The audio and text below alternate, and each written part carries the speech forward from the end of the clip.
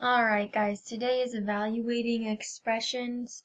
Um, so what they're going to do is you're going to get a value for a number or a variable I should say and then you have to input that number to where the variable is. So we have y times 5, remember that dot means that, over y plus 2. So what you're going to do is take 3 and replace it in the y. So 3 times 5 over 3 plus 2. Then PEMDAS, remember, multiplication comes before addition and subtraction. So we're going to solve the top part first. I'm going to change my color. So we have 3 times 5, which equals 15. And now you can solve 3 plus 2, which equals 5. So it says, if needed, answer as a fraction or a decimal. This is great as a fraction, except we know that 15 and 5 can both be divided by 5. We need to make sure that we're reducing to simplest form. So 15 divided by 5 is 3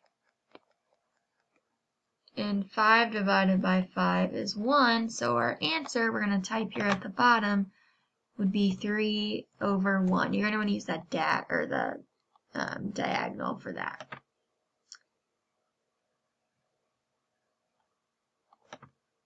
Maybe they just want 3.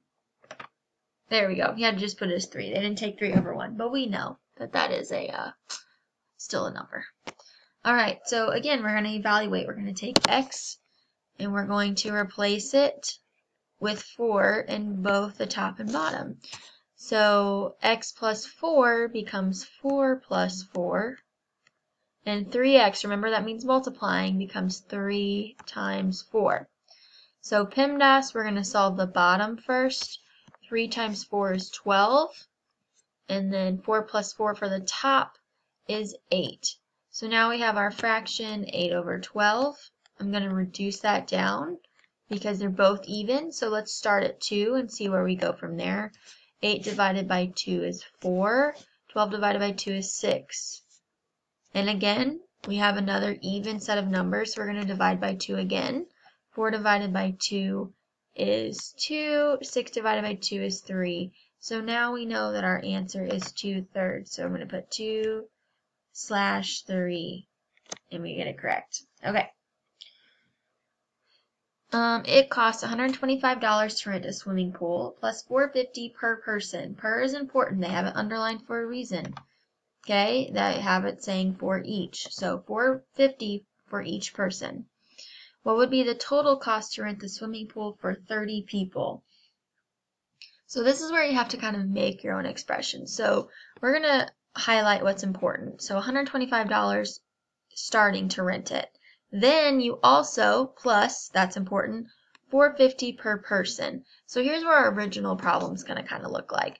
We have 125 and it says plus 450, so that's 4.50 per person. So I'm going to use the um, p as my variable to show my problem. So there's my expression. So my expression is um, hold on one second, sorry. I'm going to try to write it neatly. $125 plus 4.50 times P. Okay? The reason I have times P is because that's per person. And we're making sure that we have everything together. So I'm going to read through it again. So it costs $125 flat to rent the swimming pool. So there's my 125 Plus, there's my plus sign, $4.50 per person. So I have everything I need now. Now to be able to solve it, I'm going to have to read the rest of the problem. So let's see. We have to figure out the total cost for 30 people. So now I can take 30 and input it into this part of the problem. So I keep 125 plus the 450 stays Now it's going to be times 30. I'm not going to solve this. You're going to solve it on your own. But this is how you would set these problems up. Um, I'm going to just type in a random answer.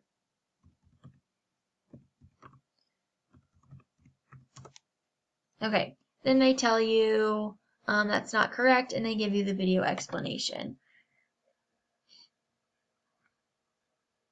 I'm going to pause it. So Alright, here's a little bit of a different problem. So um, the distance traveled can be calculated using this formula. Distance equals speed times time. That's what that's saying. Um, so S equals speed and T is for your total time. A bus traveled 25 miles an hour for 7 hours and we need to figure out how far. So we know that 25 miles an hour is going to equal to speed. And total time was 7 hours, so that equals T. All you have to do is take 25 and input for S. So this is our original problem. It's okay if the equal sign is in front. It doesn't change anything.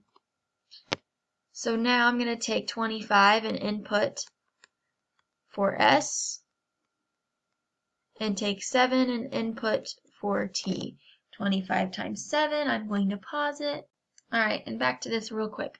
So the distance traveled can be calculated using that formula.